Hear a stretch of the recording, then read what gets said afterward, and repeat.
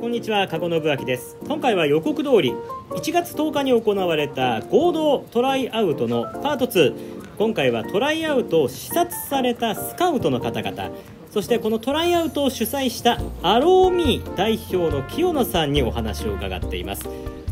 それではお聞きください。どうぞ。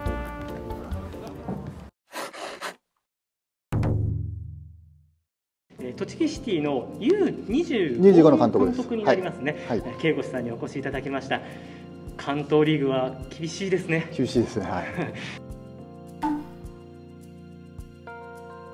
えー、可能性のある選手ですね、はい、えー、トップにつながるような選手でかつ25で活躍して関東リーグの2部に入れるための戦力を探しに来ました全然全然一番高いんじゃないですか。激戦区だと思うしチーム数の中でもまあ今年でいうと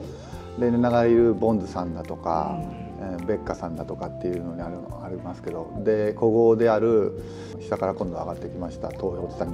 で新規参入してきます南葛 FC というようなチームがあって力を持ったチームがあひしめき合うリーグじゃないかなと思ってますけど。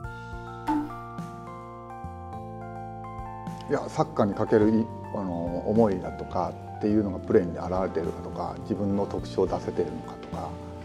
まあ、その特徴がどうかっていうのは分からないですけれどもそれを見に来ましたとチームの中で自分たちが必要としているポジションに当てはまるのかというそうですね。いい縁があることを祈っております。あありがとうございます。ありがとうございました。わざわざお疲れのところ。はい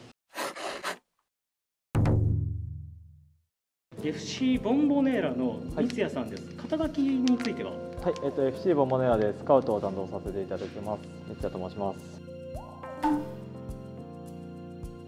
はい、えっと、岐阜県の関市を中心に、えー、2025年に J リーグ参入を目指して、えー、今活動しております。はいえっと、今年に関しましては、えー、日本元日本代表の選手であったり各 J リーグの選手またあのー若い選手だと18歳から上だとまあ40歳ぐらいまでの選手いろんな選手があの一つになりながら、えー、J リーグ3人に向けて活動しております。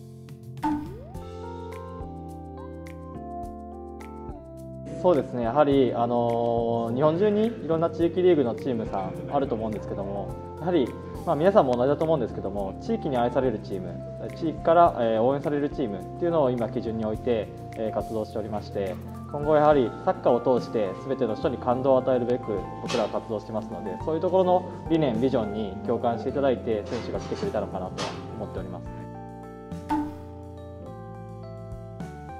そうですね、あの僕らなんてまだ足元にも及ばないチームではあるんですけども同じくやはり岐阜県から今 J リーグのチームが1つしかないのであの2番目の J リーグクラブとなるべく一緒に岐阜県を盛り上げれるように僕らも切磋琢磨できるように今活動しております。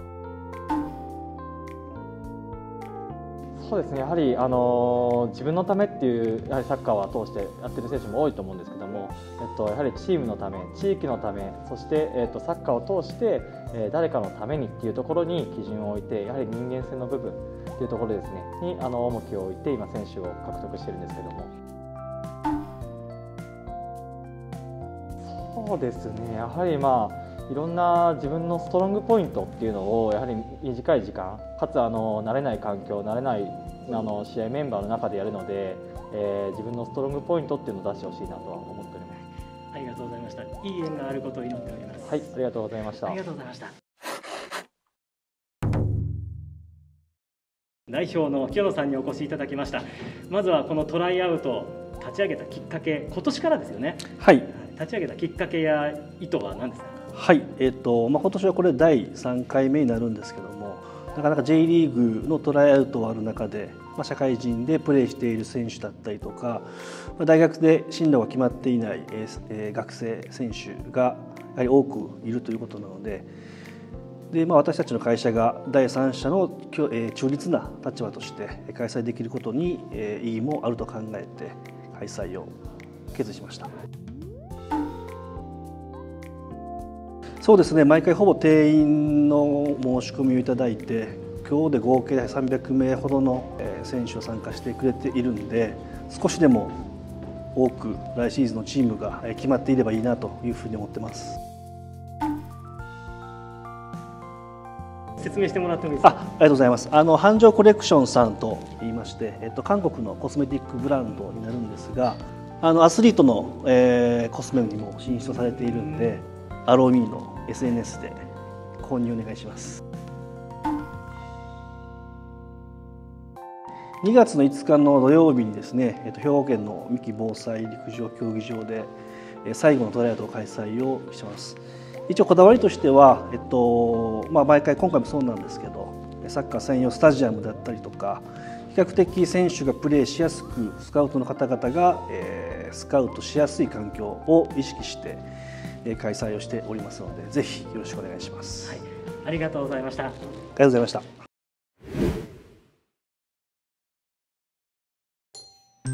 ということでアローミー主催の全国合同トライアウト2022その第3回目ですね竹菱スタジアムで行われたトライアウトご紹介をいたしました。そしてさらに2月5日に三木防災。兵庫県のあの山の中にある競技場ですけれどもあのヴィッセル神戸の練習場の伊吹の森にすごく近いところにありますね。そのスタジアムで、えー、トライアウトがまた開催されるということで新しいクラブを2月なんでねもう本当に開幕も近づいている状況の中で新しいクラブが欲しい選手たち新しい選手が欲しいクラブもしかしたらもう最後のチャンスぐらいになるのかもしれませんけれどもそちらの方もぜひチェックしていただければなと思っております。それではまたお会いいたしましょう。加護信明でした。バイバイ。